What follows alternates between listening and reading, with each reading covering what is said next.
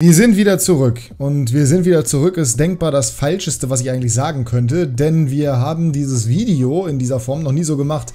Die erste Aufnahme außerhalb des Streams, 96 Karriere, we go for it. Es ist länger nichts gekommen und das lag am Tabellenplatz. Tabellenplatz 9 aus 11 Spielen, 15 Punkte, das ist alles andere als gut, da bin ich nicht mit zufrieden und dementsprechend habe ich mich geweigert zu streamen. Nein, ich hatte einfach nicht die Zeit dafür. Wenn ihr aber Bock habt, dass diese Karriere auch so weitergeht und wenn euch das freut, dann lasst doch gerne mal einen Daumen nach oben da, schreibt mir eure Meinung zur Folge im Nachgang gerne in die Kommentare, abonniert den Kanal kostenlos, um nichts mehr zu verpassen. Und wir springen heute richtig schön rein in diese Karriere mit 96 und den Rest der Hinrunde. Wer die ersten Folgen nicht gesehen hat, der wird ja, nicht mitbekommen haben, dass unter anderem Derrick Köhn bei uns aktuell keine Rolle spielt. Wir haben Max Christiansen in der Innenverteidigung, wir spielen unsere Fünferkette, wir spielen mit Fabian Kunze, mit Luis Schau, Enzo Leopold und es läuft so lala. Wir müssen also besser werden. Ich bin aber positiv, dass das funktionieren wird. Wir müssen im Winter Transfers machen im Optimalfall und ich will mich so ein bisschen an meiner privaten Karriere mit Sporting orientieren. Auch da, wer mir auf Instagram folgt, wird nicht nur wissen, warum es schwer war, diese Folge aufzunehmen, sondern auch, was ich da so gemacht habe und wie da mein Ansatz ist.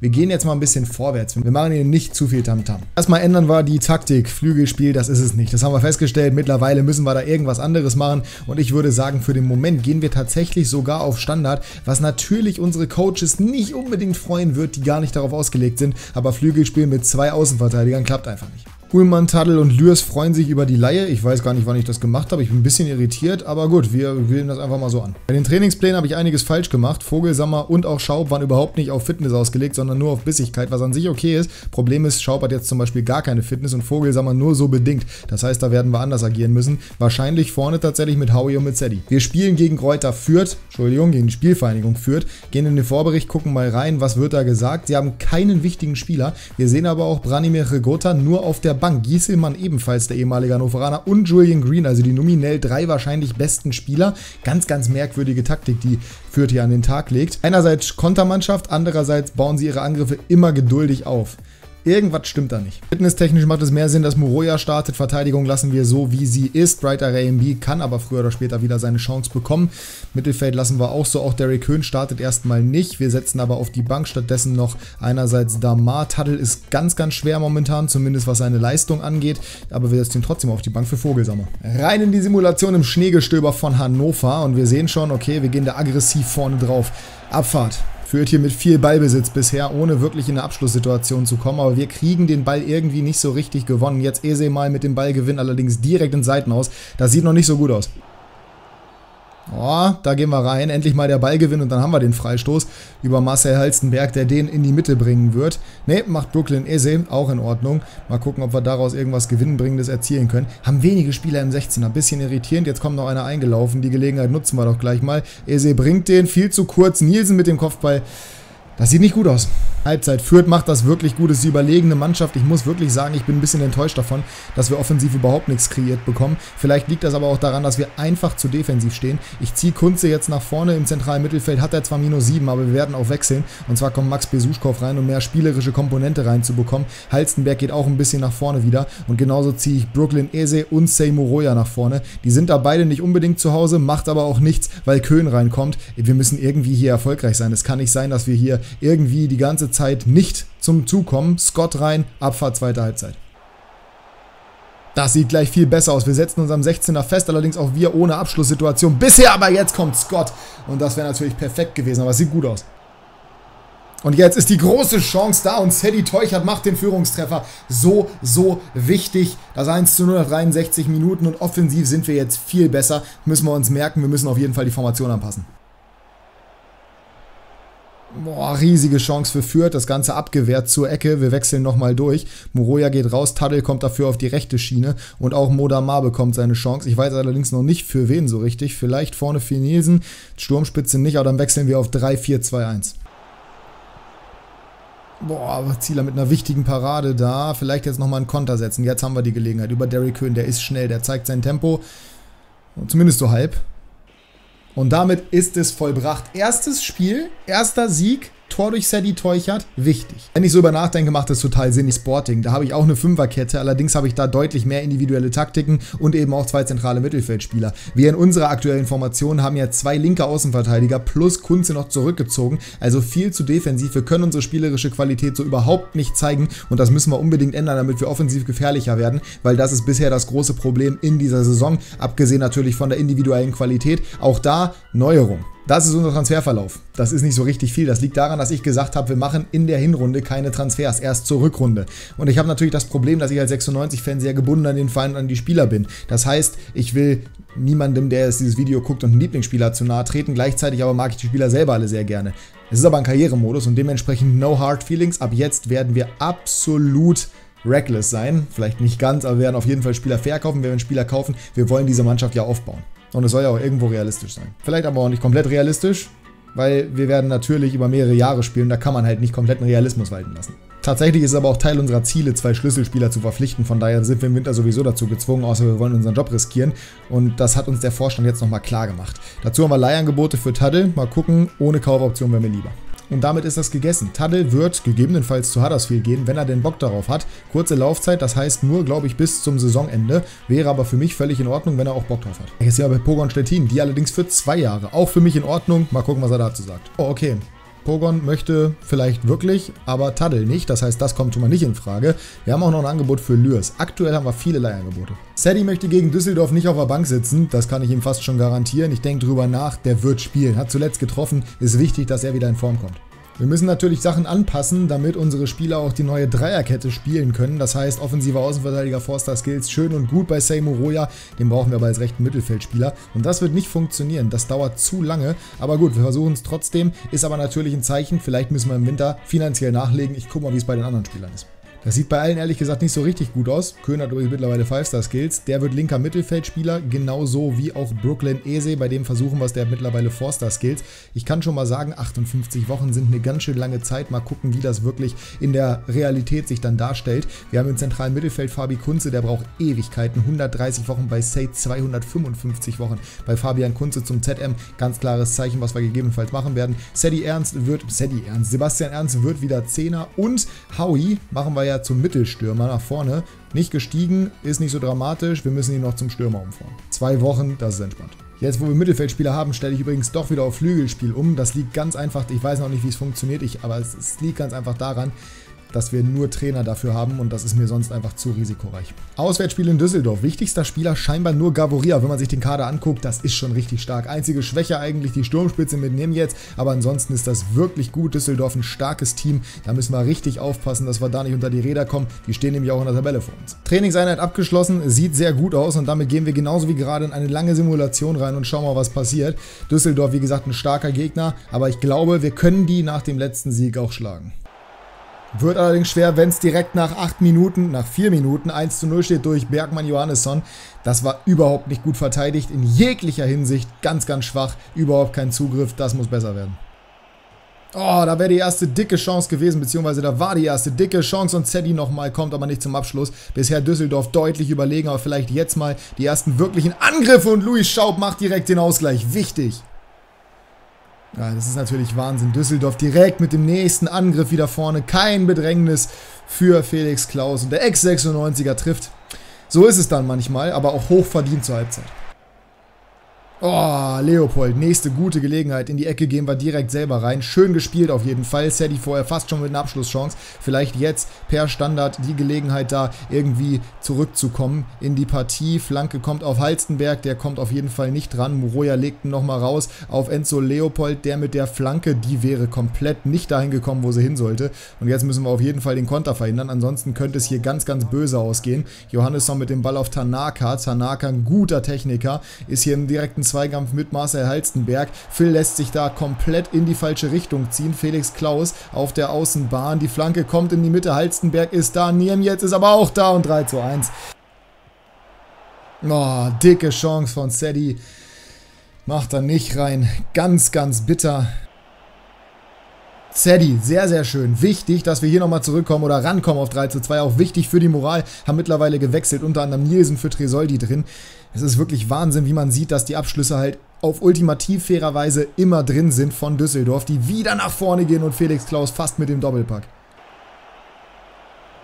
Und da ist der Ausgleich und es ist Sei Muroya. Es ist ausgerechnet Sei Muroya, der gerade die Chance von Sadie vorbereitet hat. Wahnsinn, dass wir hier nochmal zurückkommen. Ganz, ganz wichtig für die Moral der gesamten Mannschaft. Boah, und diesmal ist Zieler so wichtig da. Unglaublich, was wir für Lücken defensiv haben, aber das ist halt der Nachteil an der Dreierkette, wenn du keine Arbeitsraten auf Außen hast und die hat Derrick Köhn halt zugegebenermaßen einfach nicht schön geblockt von Bright RMB eingewechselt worden. Ganz wichtig und damit holen wir einen Punkt in Düsseldorf. Tadl hat sich offensichtlich für die kurze Leihe entschieden, ist dementsprechend weg und geht für ein halbes Jahr nach Huddersfield. Und auch Erik Uhlmann wird uns verlassen, ebenfalls für ein halbes Jahr. Und während der nach St. Louis geht, haben wir ein Angebot von Hertha für Sebastian Ernst. Allerdings außerhalb der Transferphase machen wir mal gar nichts und ein direkter Ligakonkurrent kriegt auch Sebi nicht. Möchte aber weg und das kann ich irgendwo nachvollziehen. Es ist schwierig, ich kann auch nichts Cooles irgendwie machen. Es war unvermeidbar, wir haben nicht den Platz für ihn und er hat halt leider Gottes seit seiner Rückkehr aus für auch nicht auf dem Level performt. Viele Verletzungen gehabt, aber was soll ich machen? Und hier haben wir die dritte Leihe und auch die ist in trockenen Tüchern. Kolja Udenne zum FC Andorra, klar. Und offensichtlich müssen wir doch jetzt ran, weil Ernst schon sehr akut gehen möchte und wir kriegen die Angebote. Schalke hat gerade angeklopft und jetzt der FC Elche. Ab nach Spanien für Sebi Ernst. Ne, ich war zu gierig. Burgos CF möchte Tresoldi, das ist natürlich völlig unrealistisch. Und jetzt geht's gegen den FC Schalke 04. Ist natürlich ein Spiel, was man normalerweise spielen müsste oder wo man normalerweise in eine richtige Simulation reingehen will. Aber ganz ehrlich, ich will es einfach nur schnell hinter mir haben. Wichtiger Defensivspieler Brunner, Offensivspieler Owejan, eigentlich beides Verteidiger, deswegen keine Ahnung, was sie sich dabei denken. Aber die Truppe, ich sag's immer wieder, auf dem Papier ist schon richtig gut. Wir nehmen eine Änderung an der Startelf und wir spielen mit Howie anstelle von Nicolo Tresoldi. Mal gucken, wie es in der Schnellsimulation läuft. Ich hoffe, wir können da was mitnehmen. Wir verlieren spät durch ein Tor von Tobi Moore mit 1 zu 0. Das ist richtig bitter. Wir dürfen Harvard Nielsens Position wechseln. Das ist sehr, sehr schön. Den machen wir also wieder zum Stürmer. Damit kriegt er 71. Das ist fantastisch. Dazu haben wir Scouting-Updates. Und zwar von unseren beiden Scouts. Einmal aus der Schweiz wo jetzt nicht so richtig was da... Oh, Kevin Kaufmann. Und in Deutschland sieht zumindest Jona Müller nicht uninteressant aus, Potenzial aber nicht so gut. Wir werden ihn trotzdem beobachten. Joshua Haas, naja, also alles nicht so richtig doll. Dazu haben wir News von unserem Capitano, von Ron-Robert Zieler, der mal wieder sich beschwert. Ich habe alles unter Kontrolle, alles wird wieder gut. Und das hoffentlich schon im Spiel jetzt gegen Nürnberg, denn die Vorzeichen sind nicht gut. Wir sind in der Tabelle sogar noch einen Platz nach hinten gerutscht, stehen hinter Osnabrück. Und das kann es wirklich nicht sein. Mats Möller-Deli ist der wichtigste Spieler beim FCN, die ihre Angriffe geduldig aufbauen und defensiv kompakt stehen und das Spiel kontrollieren wollen. Gute Abstände zwischen den Ketten. Das wird für uns schwer zu durchspielen sein. Das haben wir in den letzten Spielen gesehen. Versuchen werden wir es natürlich trotzdem. Direkter Aufstieg aktuell in weiter Ferne. 8 Punkte Rückstand. Die Mannschaft ist aber gut genug, um die Wende zu schaffen. Da bin ich definitiv überzeugt von. Nürnberg und Hannover relativ ebenbürtig. Wir dürfen sie nicht unterschätzen, haben wir gerade schon gesagt. Das werden wir aber auch nicht tun. Und wir werden in den nächsten Spielen gut weiterspielen. Auch wenn wir gegen Schalke verloren haben, wir können noch mehr. Wir sind besser, als wir aktuell dastehen. Zuletzt hat es nicht geholfen, heute also wieder mit Nicolo in der Sturmspitze. Wir haben auf jeden Fall eine Beschwerde bekommen von Andreas Vogel, sagen wir, dass er mehr spielen möchte, aber gerade müssen wir den Fokus auf Leistung legen und Tresoldi ist derjenige mit dem grünen Smiley, deswegen wird der uns hoffentlich hier zum Sieg spielen. Wir machen es wieder kurz, wir machen es wieder schmerzlos, wir machen wieder die Schnellsimulation und ich bin sehr gespannt, was draus wird. Kurz nochmal nachgeguckt, tatsächlich sowohl Howie als auch Vogelsammer haben diesen neutralen Smiley. Scott zum Beispiel ist happy.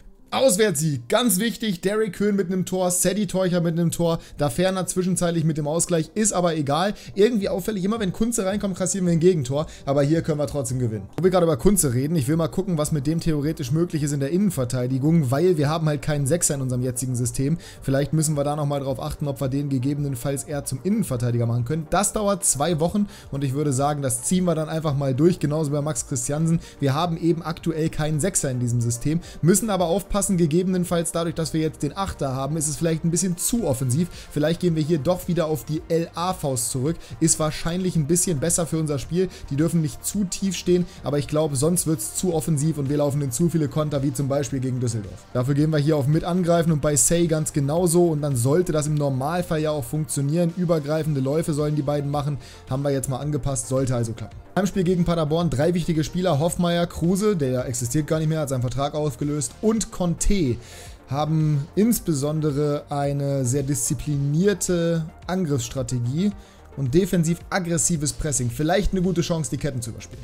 Bei der Fitness sieht man die Probleme vom bissigen Trainingsplan, aber wir brauchen halt den Fokus auf der Leistung. Wir gehen in eine normale Simulation und hoffen, dass das funktioniert, auch mit Nielsen statt Tresoldi und Scott in der Startelf. Auch dem geht mal auf die rechte Seite. Ich bin gespannt. Rein in die Partie gegen Paderborn, schwerer Gegner.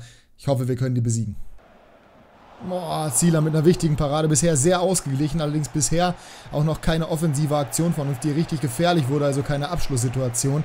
Die machen das defensiv gut, man sieht das aggressive Pressing und wir müssen bei den Standards hier höllisch aufpassen, weil mit Florent Musli haben sie einen der besten Standardschützen der Liga. Ich glaube, das ist jedem bewusst. Schöner Doppelpass da außen. Nochmal in die Mitte, Damar, ja, wir kommen nicht in die Abschlusssituation, stehen im finalen Moment dann doch sehr tief, Damar mal mit einer Chance. Und wollen hieraus Kapital schlagen. Ecke auf Nielsen, der kommt nicht dran. Halstenberg nochmal auf Derek Köhn. Ja, der hat den gerade noch so. War eng, aber wir haben den Ball. Besuschkow in der Mitte. Hat ein bisschen Platz. Nicht viel, aber ein bisschen. Ball auf Howie. Nochmal zurück auf Max Besuschkow. Foul im 16er. Nee, lässt sich auch nicht fallen. Macht er fair. Machen erstmal so weiter in der zweiten Halbzeit. Wir haben kaum eine Wahl, auch wenn unsere Fitness nicht so wirklich da ist. Aber wir brauchen unsere besten Leute auf dem Platz, um hier Erfolg zu haben. Zieler macht eine überragende Partie, aber den Kopfball kann er auch nicht halten. Felix Platte mit der Führung. Und es ist verdient, was soll ich euch erzählen? Wir sind offensiv leider zu harmlos und defensiv macht Paderborn uns arge Probleme. Der Sieg gegen Nürnberg sollte eigentlich Auftrieb geben. Bisher sieht man das aber nicht. Vielleicht jetzt über Besuschkow. Guter Antritt, der Pass, der letzte. Der war dann zu schwach. Wir gehen nochmal rein. Wir haben vielleicht noch einen Angriff, den wir ausspielen können, wenn überhaupt. Weil Paderborn das jetzt natürlich auch gut macht, Richtung Eckfahne geht. Im 16er. Wieder zurück zur Eckfahne. Zeitspiel ist clever. Wir kommen überhaupt nicht in den Zweikampf. Wir müssen unbedingt den Ball jetzt erobern, ansonsten wird das auch nichts mehr mit dem letzten Angriff quasi. Besuschkow im Zweikampf. Jetzt haben wir den Ball. Schaffen wir das noch? Eine Minute gibt es nur Nachspielzeit. Aber Damar nochmal. Kann er sich da durchsetzen? Nein, wir verlieren zu Hause gegen den SCP. Ja, das tut so weh. Und jetzt habe ich gefettfingert und habe versehentlich das Angebot für Max Besuschkow angenommen gerade. 2,1 Millionen von Leeds United. Ich wollte es ablehnen, habe es angenommen. Jetzt haben wir den Salat. Wollte aber anscheinend auch weg. Perfekt. Obwohl er Stammspieler ist gerade. Hä? Es ist wirklich schwierig. Auch unser Capitano ist nicht zufrieden mit dem, was ich tue.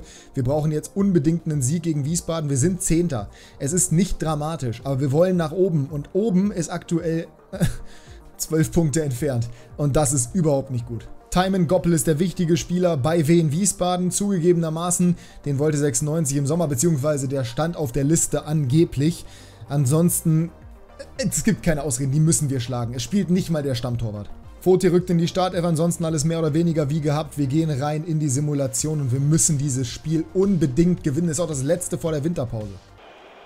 Tresoldi Schaub, Teuchert 1-0, wichtig. 15. Minute, wir hätten gerade fast schon zurückgelegen. Ich blende es euch hier nochmal kurz ein. Riesenchance für Wiesbaden, jetzt sind wir aber vorne.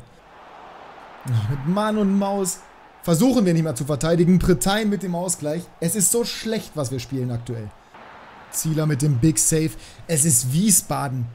Kamera ist ausgefallen, wir machen mit der Handykamera weiter und sehen den Angriff über Teuchert. Wir sehen den Angriff über Teuchert. Wir sehen den Angriff über Schaub. Wir sehen die Führung für Hannover 96.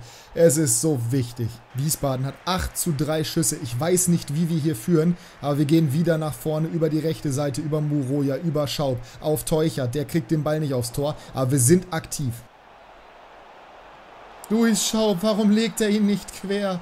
Es wäre die dicke Chance gewesen. Es hätte das Tor sein müssen. Warum schießt er nicht? Es ist Wahnsinn, was wir hier für Chancen haben und nicht mal zum Abschluss kommen. Oh, Tresoldi versucht wenigstens einer. Oh, und es ist vorbei. Wir gewinnen das Spiel gegen Wiesbaden. Ich und meine Kamera brauchen jetzt erstmal eine Pause und dann gucken wir nochmal zum Abschluss dieser Folge auf die Tabelle und sprechen darüber, was in der nächsten passieren muss. Tabellenplatz 10. Ist das gut? Na, eher nicht aber mehr Sieger als Niederlagen und auch nur noch 9 Punkte Rückstand auf Tabellenplatz 3 nach unserem Sieg. Dazu mit einem einzigen Sieg plötzlich Tabellenplatz 7 und die Welt sieht nicht mehr so dramatisch aus. Trotzdem haben wir einiges zu tun in der Rückrunde und ich bin sehr gespannt, was ihr für Vorschläge habt, wie wir auf dem Transfermarkt vorgehen sollen. Ich habe natürlich den Fettfinger-Move des Jahres gemacht mit dem Verkauf von Max Besuschkow, einem meiner Lieblingsspieler, aber manchmal steckt man nicht drin und auch wenn man es nicht hundertprozentig realistisch halten kann, wie gesagt, wenn ein Angebot kommt, ist es realistisch, dass ein Verein sich damit auseinandersetzt, unabhängig davon, wie realistisch es ist, dass manche Spieler gehen oder auch nicht. Dementsprechend eigentlich genau richtig. Wir haben hier keinen, der unverkäuflich ist, außer Phil. Und wir werden sehr gespannt, Tresoldi, wir werden sehr gespannt darauf sein, oder ich bin sehr gespannt darauf, was ihr schreibt. Und ich glaube, alle anderen sind auch gespannt darauf, was ich dann umsetzen werde in der nächsten Episode. Dabei werdet ihr definitiv Einfluss nehmen können, beziehungsweise darauf werdet ihr Einfluss nehmen können. Und ich habe Bock drauf und ich hoffe, ihr auch. Deswegen bin ich für heute raus. Bedanke mich fürs Zuschauen. Abonniert den Kanal kostenlos, um nichts mehr zu verpassen. Lasst ein Like da, wenn es euch gefallen hat. Und wir sehen uns beim nächsten Mal wieder. Bis dahin, macht's gut, haut rein. Und ciao.